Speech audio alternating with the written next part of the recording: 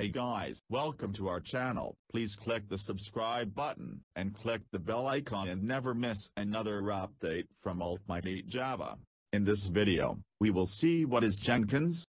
Jenkins is an open source automation server written in Java. The project was forked from Hudson after a dispute with Oracle.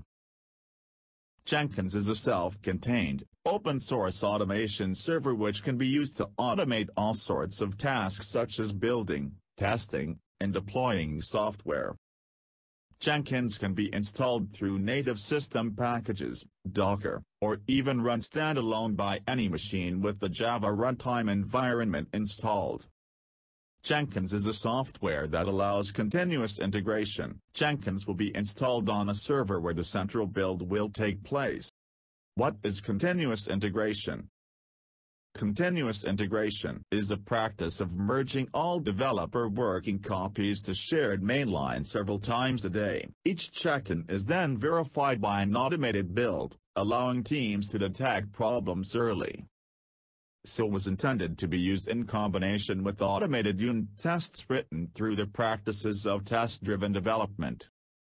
The goal of CI is to provide rapid feedback so that if a defect is introduced into the code base, it can be identified and corrected as soon as possible or to find and address bugs quicker, improve software quality, and reduce the time it takes to validate and release new software update. Benefits of CI improve developer productivity, find and address bugs quicker and deliver updates faster. Let's see how to set up and install Jenkins in Windows machine. Let's search for Jenkins. Open first link. Now click on Download Jenkins. You can download long-term support or weekly release any one WAR file. I am downloading the weekly release WAR file. Create a separate folder for Jenkins and download inside that. It's downloading. Downloaded successfully. Now open the folder, open the file path in command prompt so we can run the WAR file.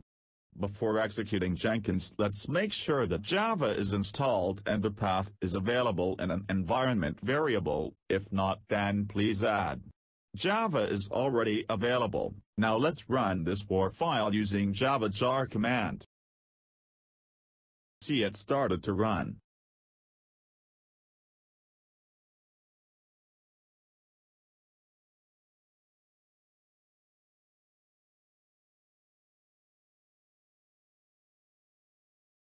WAR file executed successfully. By default, it will run on 8080 port. Let's open. See it opens. Now we need the initial admin password. Let's see how to find that. Open Jenkins folder and under that secret folder is there. Open file initial admin password. Copy this password, and paste it in the text box and click on continue. See it's working. Now it's asking for customizing Jenkins. So you can see two options are there so first one install default and second you can select more or deselect existing plugin also. Let's select the default option. We clicked suggestion plugin box so listed plugin will download one by one.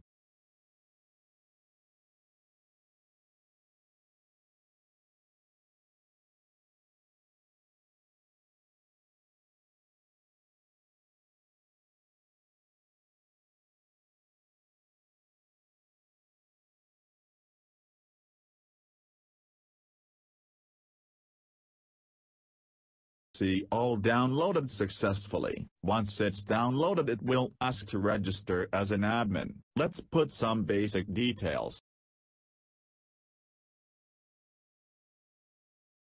And click on Save and Finish. See it's ready now. Now click on Start using Jenkins. See the home page. Now you are ready to configure any application. Let's log out and log in again just to make sure like I registered my admin so it is allowing to log in or not.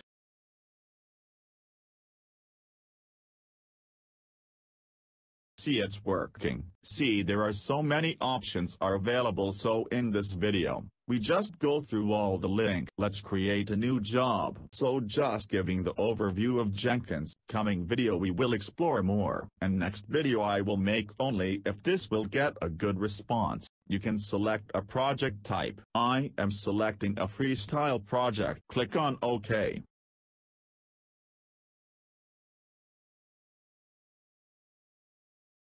The project created and now it is asking to give some more details about the project like add some description. GitHub link This project is parameterized means before starting the application needs to set some parameter, you can select accordingly add required value, select the no of build and select every hour, you can disable any time. You can add some more advanced level settings also.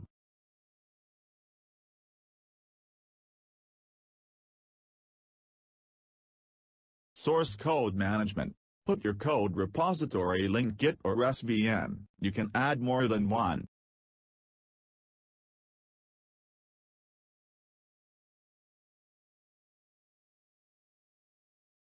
Build triggers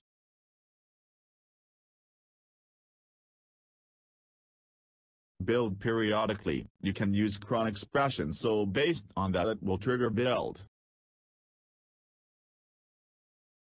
Build environment, build, add build step. To know more click on below link. See there are so many options available.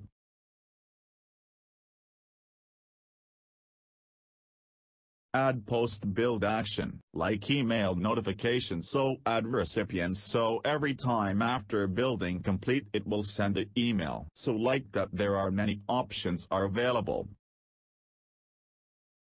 And once you add all the parameter, then click on save. See now under test project you can perform the actions like listed in left click on the build now. See build started and completed immediately because nothing is there. Click on the link and click on console output. See finish successfully.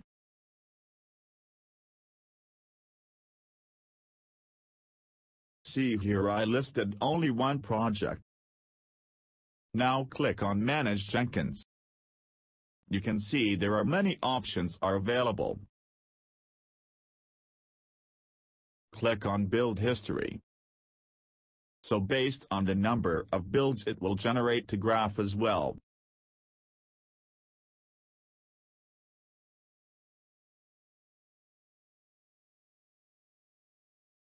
Now click on Logout. Let's see internal folder structure of Jenkins where it is installed. See like I created one project called test project that you can find under job. Same way like logs. Nodes plugins which downloaded as per the selection.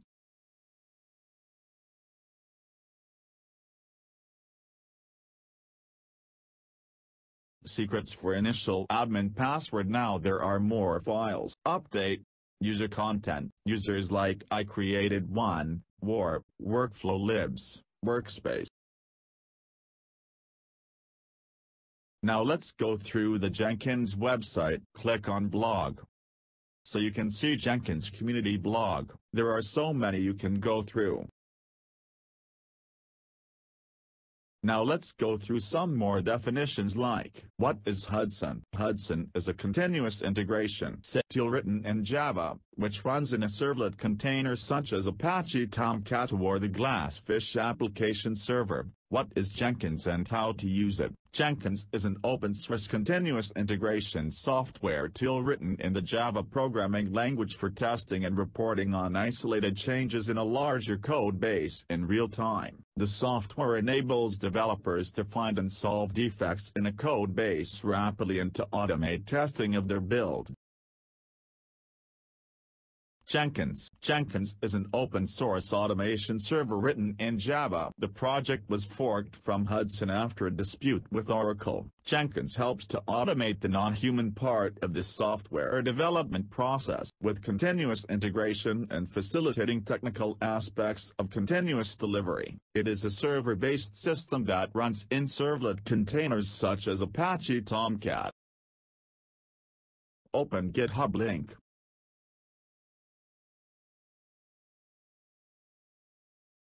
What to use Jenkins for and when to use it. Use Jenkins to automate your development workflow so you can focus on work that matters most. Jenkins is commonly used for a building project, running tests to detect bugs and other issues as soon as they are introduced. Static code analysis. Deployment.